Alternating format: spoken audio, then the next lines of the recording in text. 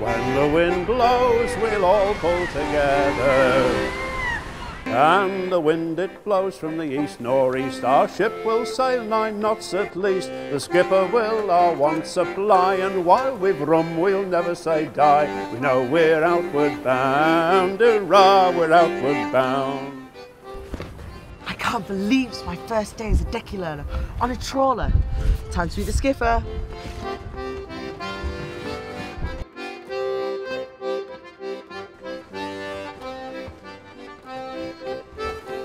Hello and welcome aboard the Ross Tiger, Tom. Thank you, skipper. I'm really excited. Where are we sailing to? Well, we're going out of the Humber into the North Sea, and then we're making our way towards the famous fishing grounds of Iceland. Iceland? That's a cold place, isn't it? Very cold, but I see you've got your trawlerman's gear on. Yes, and they're really warm. What fish are we going to catch there? Oh, mainly cod and haddock. But we'll be looking out for a very famous fish. A famous fish? Yes, Harry the haddock. Harry the haddock? Yes, a very famous Great Grimsby fish that's never been landed. He's always managed to escape the nets. Maybe we'll catch him this time. Yeah, perhaps we will.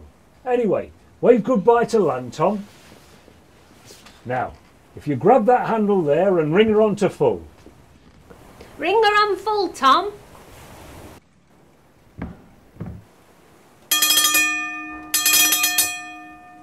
Well done. Now you need to make your way down to the fish deck. Thank you, skipper.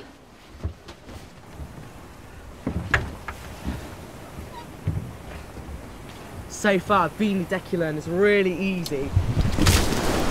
Ah!